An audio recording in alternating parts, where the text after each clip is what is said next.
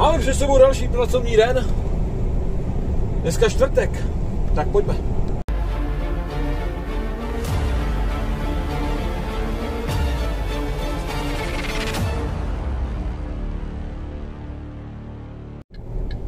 Takže přátelé, dámy a pánové, kluci, já vás vítám u dalšího Trakolku. Dneska máme čtvrtek 11. května.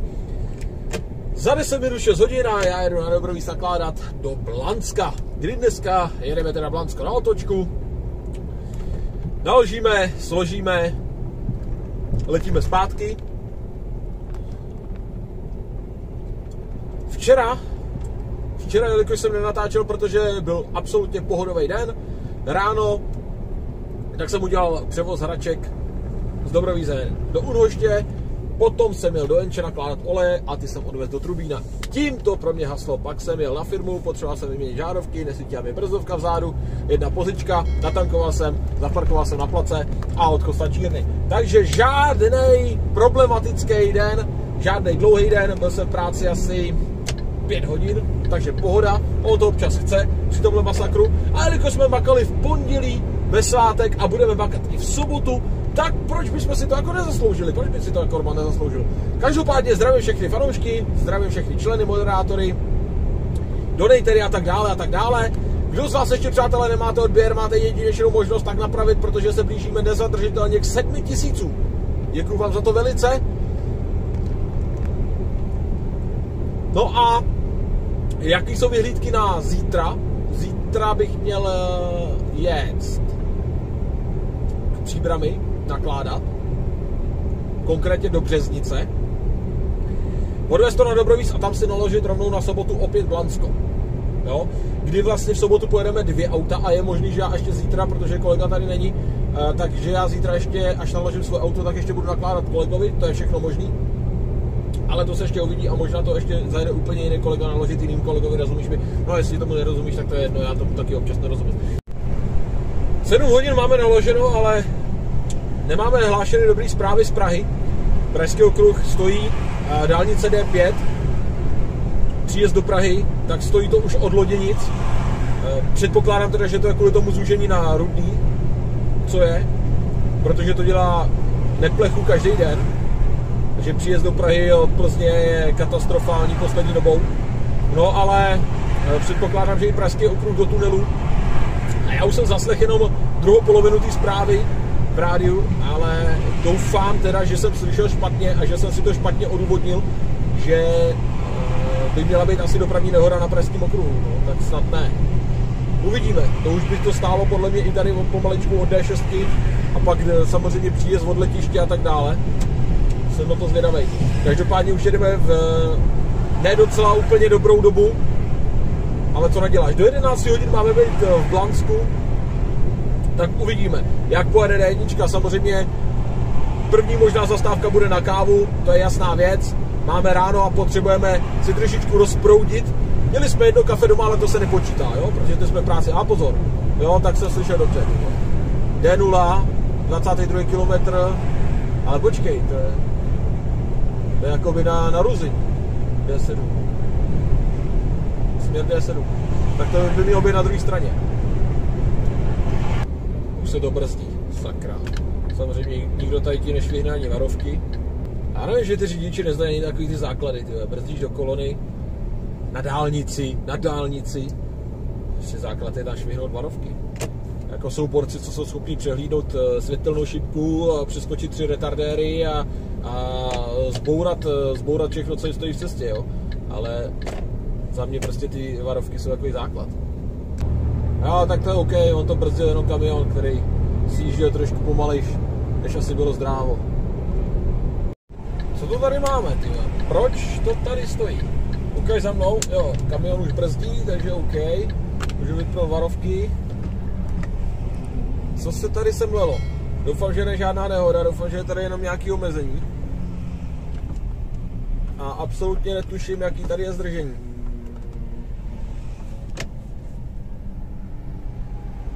Ale spíš jako typu, že, že to bude nějaký crash tady u nájezdu od Humpolce. Proč z toho pravého pruhu najel do toho levýho? Tady ten kamion před, před chvilkou byl za mnou v pravém pruhu. kolona a najel do levýho. Asi aby mě předjel a teď zpátky půjde do pravýho. Absolutně nepochopitelný manévr. Ano, rozumím, že takový ty toxik lidi vole v těch komentářích, co vidíte, eh, obzvlášť třeba na mých profilech, na Facebooku, Instagramu, anebo pod krátkýma videama shorts, tak uh, ty to chápu, no ale já ne, sorry. Jde zpátky, no. Tak jo, no. OK. Tady za chviličku proběhne úplně prvotřídní zip. Na něj si teda počkám. Jasně, dvě dodávky, no tak zip už se nekoná. Jo. Všichni se sem nahrňte a ty ho ještě pust. Pust ho, no, jasně. Hm. OK. Ale to vy, pozor, to vypadá na crash v protisměru, ty asi. Nebo?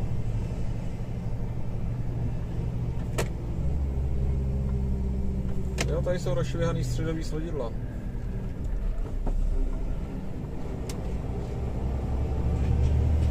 Tak to už je crash, který už ale tady nějaký ten pátek asi už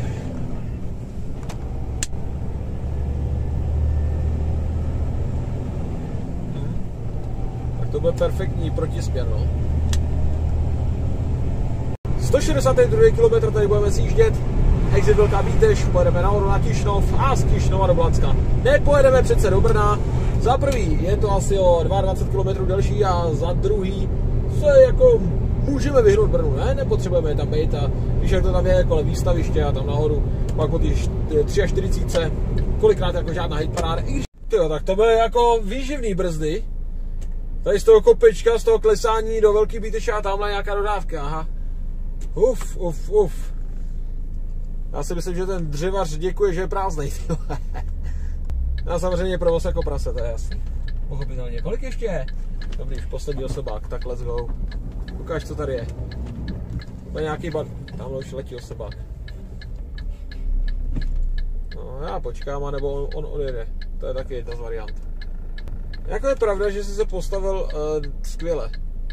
Bylo by třeba lepší tam zajet s tou dodávkou, ale já to chápu, no. Tak jedeš nebo co jdeš dělat? Tak jeď, no. Ty tak on nemohl rovnou zastavit tady na tom chodníku, ne? A těch 20 kroků tam... No, to je... Nebudeme se rozčilovat. No. Dobré, no. Jo, tak tohle je taky dobrý. Ten kontík před tou zatáčkou. On tady jako odsaď mává. Dobrý, dobrý, dobrý. Já už jsem myslel, že tady není druhý. Dobře to tady mají alespoň ošefovaný, no. Protože většinou si s takhle hlavu, nehla, hlavu nelámou, jo? že tam prostě postaví kontík nebo tam udělají nějakou překážku a že ta překážka je před nějakou zatáčkou nebo na nějakém jako fakt komplikovaném místě, tak to už nikoho, a co. Ale dám tady, dám tady třeba trouhelník, v tom lepším případě, v tom horším to vůbec neoznačím. Tak nevím, jestli tady to je ono, to nově vznikající obchodní centrum. Každopádně jdu zavolat chlapákovi. Tak, Jsem tady správně, to je jasná věc. A první věc, a důležitá věc asi. Další věc je ta, že tady jak je ta zámkovka, za chvilku to uvidíte vpravo, tak tam my to budeme skládat a budeme to po té zámkovce tahat až eh, do krámu.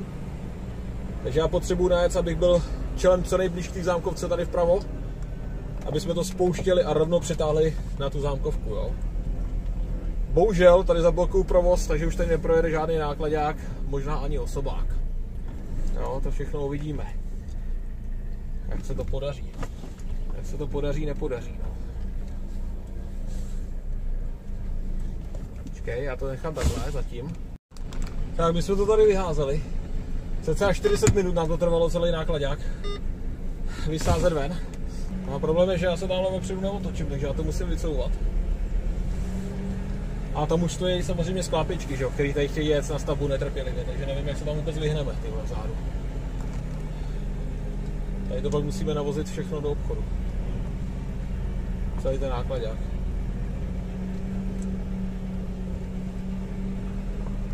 Super, ne? To jsme ještě museli přiložit dvě palety z dodávky. Perfektní.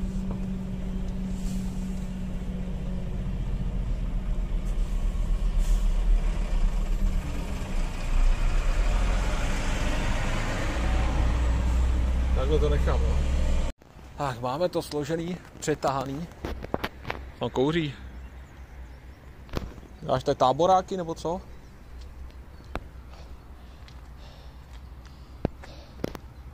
Samozřejmě provoz jako kráva. Tady dva kluci ze sklápečky tady čekali jakou dobu. 40 minut, než jsme to natahali jenom na chodník a z chodníku jsme to pak vozili teď na prodejnu. No. Máme tři čtvrtě na jednu a já odjíždím. Tak jedem. Tady to otočíme. Tady jsou ty kanály vylezlý, tyjo. To je hnus. To vyjde, to je dobrý.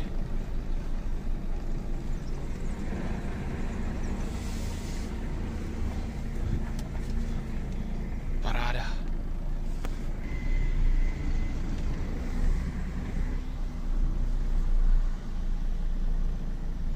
Krásný. Něco kolem 220 kiláků na Prágl. 1.05 máme, takže samozřejmě v Lansku vypadá masakroidně po druhé hodině, tak jako každý druhý město, že jo, co si budeme povídat. Ale teď jsem zrovna chyt provoz, no to bych nebyl já, že jo. Přijdeš na křižovatku, než jsem se tady otočil, tak tady téměř nikdo nebyl, no. tak se podívej, jak to tady teď vypadá. Já s tou sklopkou musel být ze mě už úplně hotový. Teď zase přijížděl tam s další fůrou. Si říkal, ty zaplať pán že už vypad. A musím říct, že byli relativně v klidu, jo, na to, že jsem to tam téměř fakt jako na 40 minut zablokoval ten průjezd. A hned vlastně, jak jsem se tam postavil, tak tam přijeli dvě sklápečky. Tak čekal jsem, že budou jako nadávat, ale dobrý. Vzali to sportovně, no. Takže to je potřeba ocenit samozřejmě. Trip mezi Tišnovem a Velkou Bíteší na pohodičku, ale i když je to tady tu a tam jako klikatý a tu a tam je to tady užší, tak já tady jezdím poměrně docela rád, protože ten provoz je tady klidný. Jsou tady úseky, kde to je docela dost jako rozmydlený, ale jsou tady úseky, kde je to takovýhle kobereček. Takže co? 45 vyfotit a, a prosím mailově pogratulovat. Děkuju. Ty oni tady furt řídějí provoz, ty kontejneráci. Tak to je masakr. Dík šefe. Tak to jsou borci, ty To jsou borci. Tady byl celý den asi, no, takhle řídit. Klobouček, ještě jednou. No jo, tak. Co mi zbývá, no? Hodíme to tam. Mi úplně tečou sliny, vole. Jdeme na to už. Svíci máme za sebou, byla vynikající. Což mě samozřejmě překvapilo, protože jsem věděl už teď do čeho jdu, že jo. Tak jako nejsem žádný nazdárek, abych jako šel do neprověřeného. No i když taky se mi to někdy stává, tady machruju, ale realita je pak ve skutečnosti trošku jiná. Nicméně, Dá se si ještě kávu na cestu a e, něco sladkého k tomu, aby se nám lépe jelo. Rozumíš? Jo, to musí být, musí být takzvaně jako připravený. Takže to máme. Ještě stále nám nezačalo pršet. E, to jako meteorologové jako předpovídali, že nejdřív, že má pršet o víkendu, nakonec nepršelo. To, že má pršet pak jako v pondělí, že má být klid, takže má pršet úterý, středa, čtvrtek a nakonec to změnili na, jenom na středa, čtvrtek, pátek, tak eh, máme čtvrtek odpoledne a ještě stále nepršelo. Takže o to si můžeme každý myslet svý. Dobrý den, páni policisti, eh, já už jsem po obědě, eh, pauzu mám hotovou, neudělal jsem žádný přestupek, jsem úplně v cajku. Děkuji, mějte se, krásný den.